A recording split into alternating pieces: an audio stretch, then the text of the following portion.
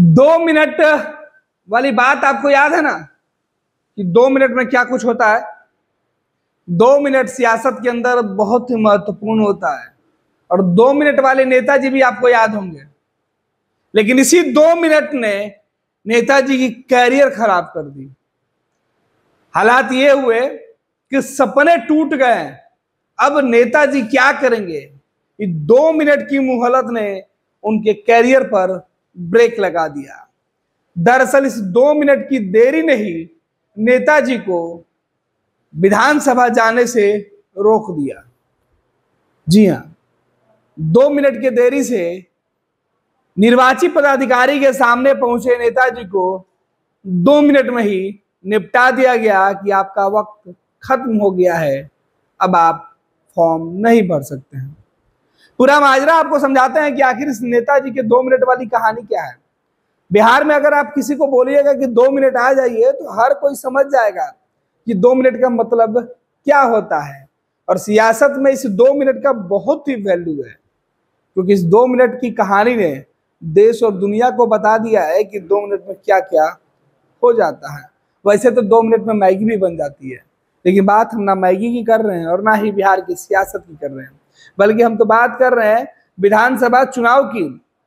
देश में दो राज्यों में चुनाव हो रहे हैं। एक महाराष्ट्र, दूसरा झारखंड और इसके साथ देश के कई हिस्सों में उपचुनाव हो रहे हैं। और इसी चुनाव के बीच दो ऐसे उम्मीदवार आए जो दो मिनट की देरी से नामांकन पत्र भरने के लिए निर्वाचन पदाधिकारी के जो दफ्तर बना हुआ था, वहाँ पहुँच गए। अब निर्वाचित पदाधिकारी के सामने जब दो मिनट की देरी से पहुँचे तो उन्होंने पेपर लेने से इनकार कर दिया, कहा कि नहीं सर, आपका फॉर्म नहीं एक्सेप्ट किया जाएगा, क्योंकि जो समय थी वो बीत गई, उसे बीते दो मिनट गुजर चुके हैं काफ़ी मिन्नत के बाद भी नेताजी दो मिनट के बाद फॉर्म नहीं भरवा पाए। नेताजी गिड़गिड़ाते रहे, लेकिन निर्वाचित पदाधिकारी सुनने को तैयार नहीं थे, क्योंकि कानून में जो वक्त दिया गया था, वो तो फिक्स है। इसी दो मिनट की देरी ने एक नेताजी के करियर पर फुल स्टॉप लगा दिया। चले थे विधायक बनने। अब पता नहीं इस दो मिनट का दर्द उनको जीवन में कहाँ ले जाएगा। कहानी महाराष्ट्र विधानसभा चुनाव से जुड़ी हुई है। महाराष्ट्र विधानसभा के एक सीट पर नामांकन करने पहुँचे एक पार्टी के उम्मीदवार के साथ यह पूरा माजरा हुआ है। आइए आपको विस्तार से बताते हैं कि आखिर पूरा माजरा क्या है, आखिर पूरी बातें क्या है, आखिर क्या है पूरा खेल? दरअसल, क्यों दो मिनट की देरी पड़ी? और ये उम्मीदवार कौन थे? ये उम्मीदवार देश के बड़ी पार्टी के नेता थे। अक्सर नेताओं के लेट आने जाने का सिलसिला तो आपने कई बार सुना होगा, लेकिन इस बार यह लेट महँगा पड़ गया। महाराष्ट्र की नागपुर सेंट्रल सीट पर जमकर ड्रामा हुआ। खबर है कि कांग्रेस के पूर्व नेता और राज्य सरकार में मंत्री रह चुके अनीस अहमद महज कुछ मिनट की देरी के चलते नामांकन दाखिल नहीं कर सके। हालाँकि उन्होंने इसके लिए कई परेशानियों का हवाला दिया, लेकिन उनका नामांकन अधिकारियों ने स्वीकार नहीं किया।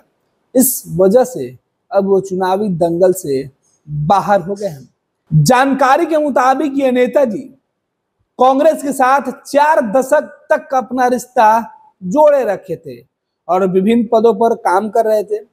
लेकिन अब इन्होंने कांग्रेस से अपना रिश्ता तोड़ दिया और भी बी ए से, यानी वंचित बहुजन अगाड़ी दल के वो उम्मीदवार के तौर पर अपना नामांकन पत्र दाखिल करने पहुँचे थे। अनीस अहमद इस बीच बताते हैं कि तीन बजे की डेडलाइन चूक जाने के कारण रिटर्निंग अधिकारियों ने मेरा नामांकन स्वीकार नहीं किया। यह भी बताया जा रहा है कि सुबह से लेकर नामांकन की अंतिम समय तक अहमद की गैर मौजूदगी के चलते कई तरह की अटकलें लगती भी रही थी। अनीस अहमद ने इस पूरे मामले पर उन्होंने बताया कि रोड बंद होना एक बड़ी वजह थी। जो ट्रैफ़िक जाम की समस्या थी, इस वजह से वो इस नामांकन पत्र को भरने में जो समय लगा, वो उसमें नहीं पहुँच पाया। इस बीच सुरक्षा प्रोटोकॉल और एन मौके पर दस्तावेजों के अंदर कई प्रकार की जो त्रुटि थी, वो रह गई थी। और इन तमाम चीज़ों को दुरुस्त कराते कराते जो वक्त है, वो गुजर गया। और इस बीच कुछ मिनट की देरी से पहुँचे नेताजी का नमनकन पत्र नहीं भरा गया। इस बीच उन्होंने अपनी सफ़ाई में यह बातें ज़रूर कही। उन्होंने कहा कि घुटने में चोट लग गई थी और वो और कई तरीके की परेशानी से गिर गए थे।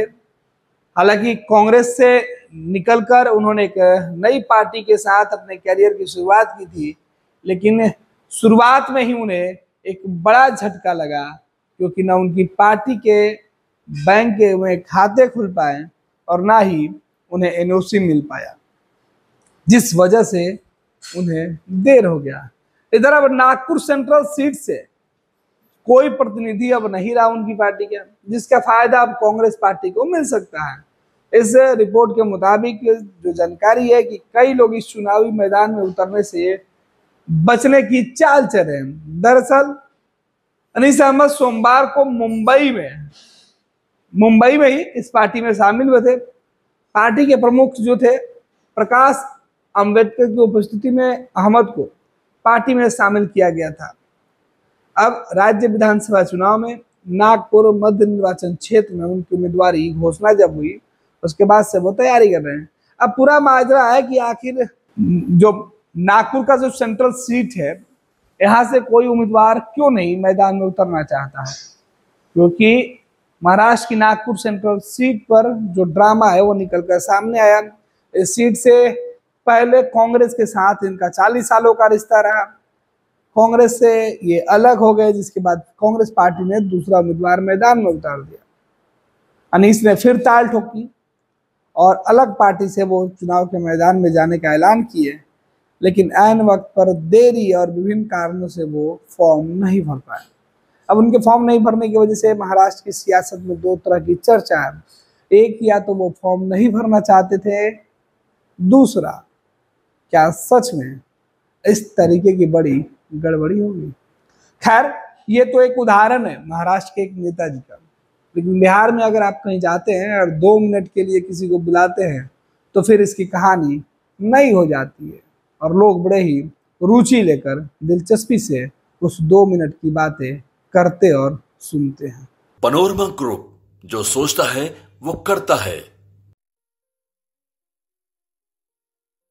ये लो मुँह मीठा करो। आज मैंने अपना जॉब छोड़ दिया। अब हम पूर्णिया वापस जाएँगे। जॉब छोड़ दिया है? मतलब? ये घर कैसे चलेगा? हम करेंगे क्या? और माँ बाबू जी क्या बोलेंगे? इसलिए मैं एक और मिठाई का डब्बा लाया। अपने बिज़नेस के लिए लोन अप्रूव हो गया। अरे लोन अप्रूव हो गया वो तो ठीक है लेकिन पूर्णिया में हम रहेंगे कहाँ? अपना घर भी तो नहीं है वहाँ। इसलिए तो एक और मिठाई का डब्बा अलग से लाया हूँ। हमने पूर्णिया में घर ले लिया है। पूर्णिया के ई होम्स पैनोरमा में। पूर्णिया में पैनोरमा ग्रुप लेकर आए हैं। ई होम्स पैनोरमा बड़ा घर आलीशान ज़िंदगी और अत्याधुनिक सुविधाओं के संग। अरे अरे अब क्यों मुँह मीठा करवा रही हो? क्योंकि हम घर वापसी जो कर रहे हैं। घर वापसी की खुशी। पूर्णिया में ई होम्स पैनोरामा के संग। E homes panorama luxurious lifestyle redefined